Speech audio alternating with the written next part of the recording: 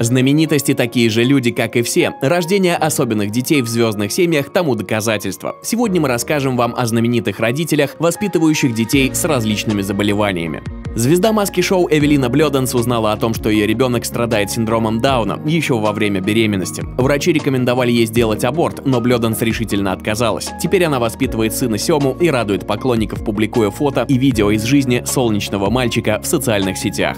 Когда сыну американской певицы Тони Брэкстон было три года, врачи поставили ему страшный диагноз – аутизм. Звезда начала заниматься лечением малыша, и ей даже удалось устроить его в обычную школу. К особенным детям звезд относится и Агата, дочь певца Данко. У его супруги были тяжелые роды, и девочка родилась с диагнозом ДЦП. Врачи и родственники пары уговаривали их отказаться от ребенка, однако родители такой вариант даже не рассматривали. Британская модель и певица Кэти Прайс также воспитывает ребенка с отклонениями. Харви, старший сын Прайс, родился слепым. Кроме того, он страдает аутизмом и синдромом Прадера Вилли.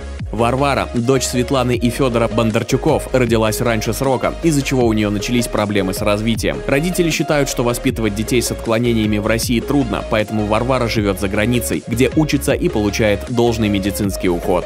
Перчинка Виктория Бекхэм призналась, что их сын Ромео болен эпилепсией. Эта болезнь не смертельна, но приходится во многом ограничивать себя, ведь эпилептические припадки у мальчика могут вызвать вспышки фотоаппаратов, езда на автомобилях и мотоциклах.